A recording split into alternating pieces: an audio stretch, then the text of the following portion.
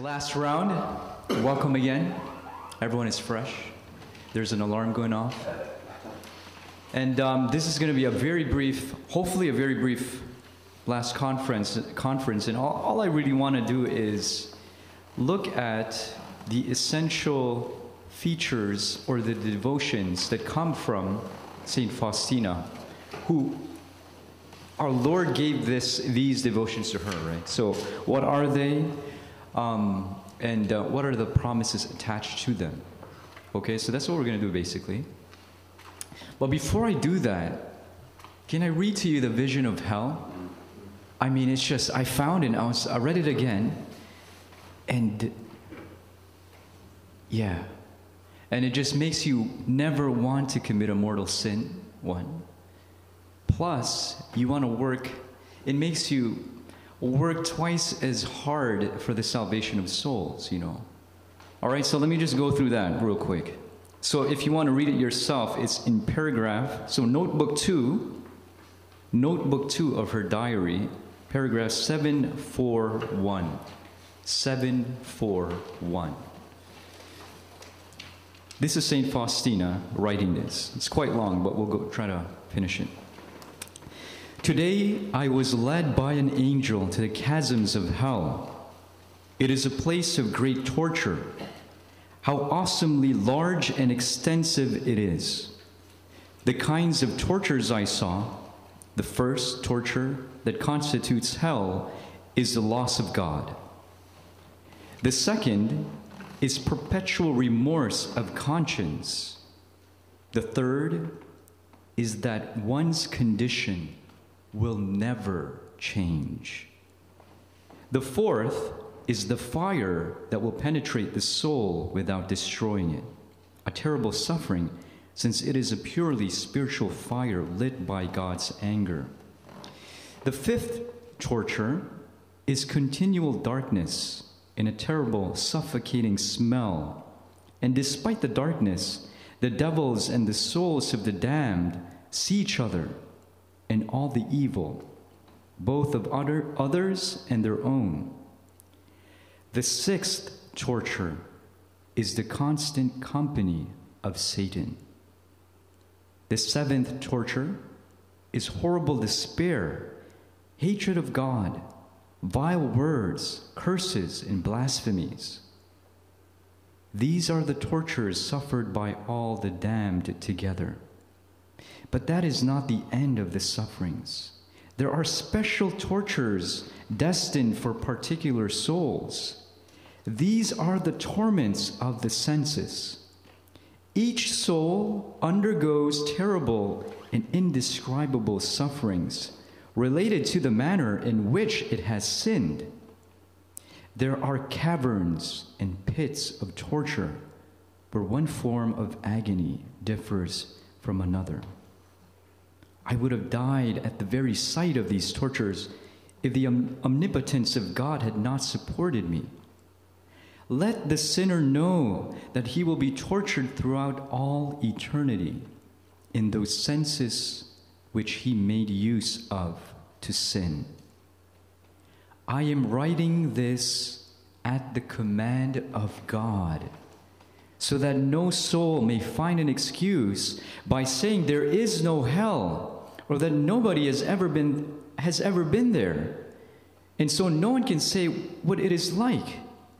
I, Sister Faustina, by the order of God, have visited the abysses of hell so that I might tell souls about it and testify to its existence. I cannot speak about it now, but I have received a command from God to leave it in writing. The devils were full of hatred for me, but they had to obey me at the command of God. What I have written is but a pale shadow of the things I saw. But I noticed one thing that most of the souls there are those who disbelieved that there is a hell. When I came to, I could hardly recover from the, from the fright how terribly souls suffer there. Consequently, I pray even more fervently for the conversion of sinners. I incessantly plead God's mercy upon them. O my Jesus, I would rather be in agony until the end of the world amidst the greatest sufferings than offend you by the least sin.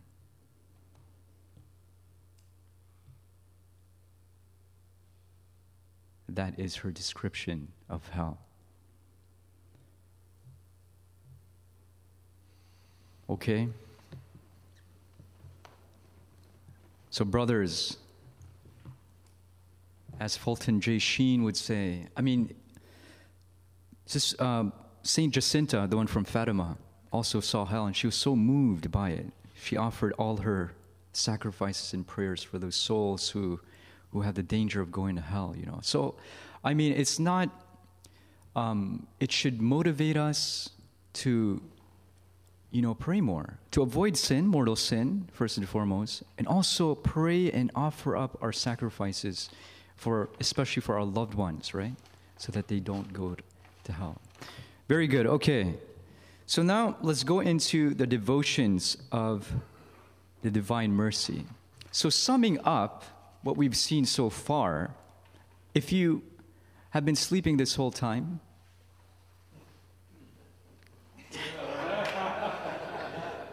I don't want to say anything out loud, but you know what I mean. He had a good sleep. He had a good sleep. Coming back, coming back. So if you don't remember, you absolutely remember nothing, let me just sum it up. The message of the divine mercy is easy as A, B, C. A, we have to ask for mercy, right? So our Lord tells Sister Faustina, unless souls come and draw from my mercy, they will never have peace. We have to ask for mercy. A. B.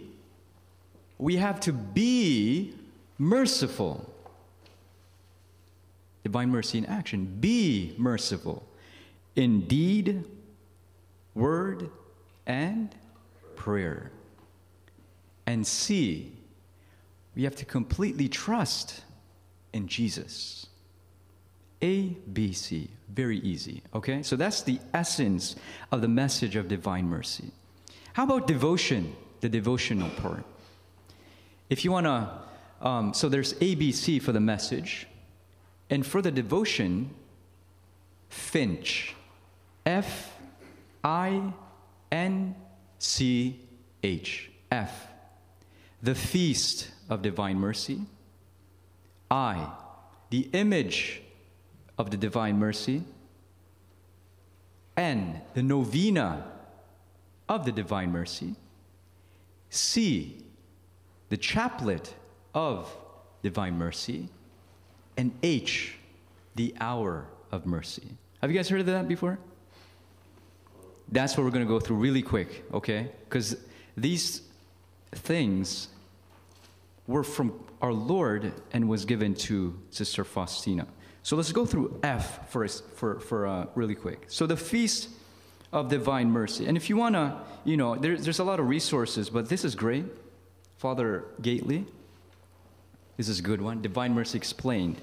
Keys to the message and devotion.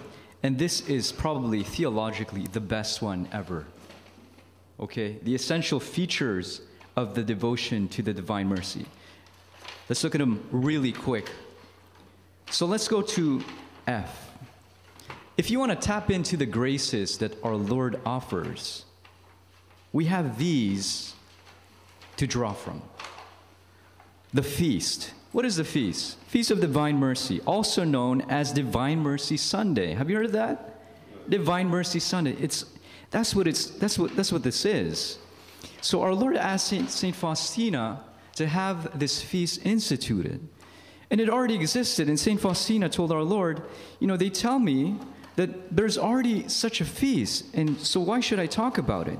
Jesus responded to St. Faustina, And who knows anything about this feast? No one. So that's why he asked for it.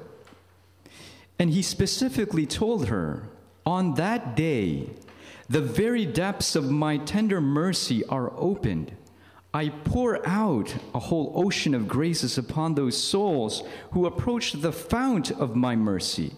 On that day, all the divine floodgates through which graces flow are opened. Now, regarding Divine Mercy Sunday, this is the most important part. Our Lord told St. Faustina this The soul that will go to confession and receive Holy Communion shall obtain complete forgiveness of sins and punishment. Mamma mia. Mamma mia. Let me repeat that. The soul that will go to confession and receive Holy Communion shall obtain complete forgiveness of sins and punishment. Now, brothers, this is not merely a plenary indulgence. This is something more, okay? And the great theologian that um, uh, explains this, he actually calls it almost a second baptism, right? Here's how he explains it. All right. So, this is a most exceptional grace promised by Jesus for the Feast of the Divine Mercy. It's something considerably greater than a plenary indulgence, because this consists only of the remission of temporal punishments for, for sins committed, but is never the remission of guilt itself.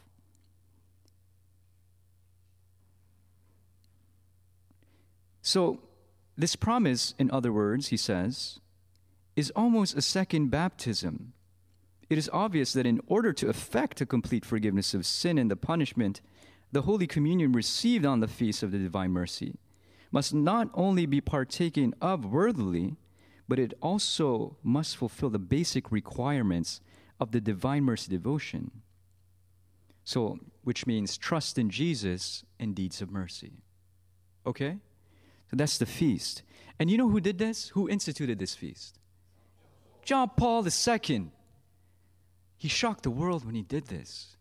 It was during the canonization of St. Faustina, and he said, from now on, uh, I think it's the Sunday after Easter, will be known as Divine Mercy Sunday. And you know what he told one of the one of the guys privately after? Huh? Yeah, but he said, This is the happiest day of my life. This is the happiest day of my life. John Paul II, after he, he, he did that. Incredible. All right. How about the image of, so we we got F, I, image of the divine mercy. So this is the image that our Lord uh, told Saint, Saint Faustina to have made, right? And um, yeah, this the image, as you can see, is right there. Where's the page? Where's the page? Okay. This is what uh, our Lord told Saint Faustina. I am offering people a vessel with which they are to keep coming for graces. That vessel is this image with the signature, Jesus, I trust in you. By means of this image, I shall be granting many graces to souls. So, this image basically has a double function. It is, number one, a means of grace, okay? It's a means of grace, an instrument through which graces are distributed. But also, also, the image is to be a sign which is to bring to mind Christ's demand for performing acts of mercy. Remember how we talked about spiritual Alzheimer's? We tend to forget. The image, this image in particular, reminds us of that, right? That we have to do acts of mercy as well. All right? We're just going through the basics here through the basics because we just want to touch on them really quickly. Again, if you want to dive into this, Divine Mercy Explained, you guys have that? Is that Father, Make, Mother, uh, Father Michael Gaitley? He's, I mean, these, all these guys are, are awesome. But if you want, you know, if you want a theological explanation, nobody is better than this guy. Reverend Ignacy Rozycki. Okay, because Karol Wojtyła actually commissioned this theologian to study the diaries. Initially, he didn't want to do it. Then he flipped a couple of pages and he's like, wow. What's the exact title? So this one is, this is, okay, so he wrote, he, he, he studied it and he wrote a 500 page uh, book, basically. And this is the condensed version, slightly, of his study. Okay? And he was commissioned by John Paul II when he was still cardinal. So this is really the, this is the go-to. The, the title is Essential Features of the Devotion to the Divine Mercy. Reverend Ignacy, I G N A C Y, and his last name is R O Z Y C K I. Read that, read that, read that. It's incredible. He explains it really well. Okay, so F I, what's the next one? N. And what does that stand for? Novena. No, huh? Yeah, you guys already know this stuff. Right? Yeah, so so the novena, and our Lord says this. Wait, where's it at? Oh, number nine. Number nine. Novena. What is it? Novena. Okay. Our Lord says to Saint Faustina, By this novena, I will grant every possible grace to souls. And when should I begin? Yeah, Good Friday. Okay, I mean, that's a very basic one. Let's, let's move on to the chaplet, okay? The chaplet of divine mercy. Have you ever prayed the chaplet? You just already prayed it yesterday. Ah! I lead it every Sunday. Is that right? It's a powerful, powerful prayer which you, which you pray on regular rosary beads. Okay? And the thing is, it only takes what? Five minutes. Seven minutes. It's a great prayer. And it's also, we were talking about the Mass yesterday, right? The prayers draw from the Mass. You know, I offer you the body, blood, soul, and divinity of your dearly beloved Son.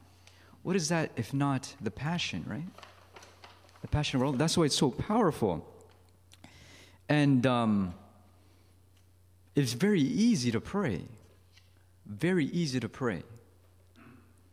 So that is C, the chaplet, about seven minutes. I don't think, okay, here's uh, our Lord's words. Our Heavenly Father said to Saint Faustina, When this chaplet is said by the bedside of a dying person, unfathomable mercy envelops the soul, and the very depths of my tender mercy are moved for the sake of the sorrowful passion of my Son. Jesus also comforting promises to those who pray the chaplet. Say unceasingly the chaplet that I have taught you. Whoever will recite it will receive great mercy at the hour of death. Even if there were a sinner most hardened, if he were to recite this chaplet only once, he would receive grace from my infinite mercy. And on and on and on. Our Lord wants us to go to heaven. And he tries to make it as easy as possible. But we have to cooperate, right? Last one, because we have five minutes left. H. What is H? The hour of mercy. 3 p.m. Why is it 3 p.m.? Amen. So let's just close this and I'm going to go off. exactly. Exactly. Our Lord says to St. Faustina, 3 o'clock, Jesus promised that this It's a huge time of grace. This is the hour of great mercy for the whole world. I will refuse nothing to the soul that makes a request of me in virtue of my passion. Beautiful. Let me just end, end with this. It's interesting how, at, with the Sacred Heart devotion, it's associated with the first Fridays, right? So once a month. But Divine Mercy is every single day, 3 p.m., right? That's a humongous difference. So, what sets this apart from other devotions, the Divine Mercy? What do you guys think?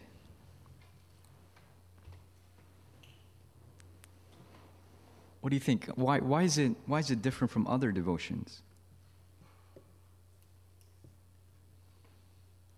Because of her writings and what she saw Yeah. I mean, I would say this it's devotion to the divine mercy. The divine mercy. So it's identified with our Lord Himself, right? So it's just not any other devotion. The message and the devotions that St. Faustina has handed to the church, and which John Paul basically universalized because he canonized her, he instituted the Feast of Divine Mercy. So for the universal church, so it's not only something local now, right? It's much more, it's offered to the universal church now. So it is, it's something for, for the whole church. And to draw from these, these uh, devotions, we have these um, the finch, feast, the image, the novena, the chaplet, the hour, to remind us what Christ has done for us. Amen. Good. Is there anything else? Great group. Thank you guys for coming here. It's been a great pleasure. Hopefully, you guys keep delving into the spiritual life. It's, you know, our faith is beautiful, intelligent, and it's the real deal. It's the real deal. And the more you go into it, it's just the more beautiful it becomes. And I thank Heath for kind of forcing me to prepare this, even if there was not a lot of time, because now, I mean, I'm gonna, I'm gonna, I'm gonna, I'm gonna start reading much more of Saint Faustina. So thank you, Heath. Thank you for, for your patience. Um, you've exercised a great deed of mercy, of uh, you know, bearing patiently with those who are annoying. And um, I wish you guys the best, and I'll see you for Mass. Amen? Amen. Amen. In the name of the Father, and of the Son, and of the Holy Spirit. Amen. Glory be to the Father, and to the Son, and to the Holy Spirit, as it was in the beginning, is now, and ever shall be, world without end. Amen. Saint Faustina, pray for us. In the name of the Father, and of the Son, and of the Holy Spirit. Amen.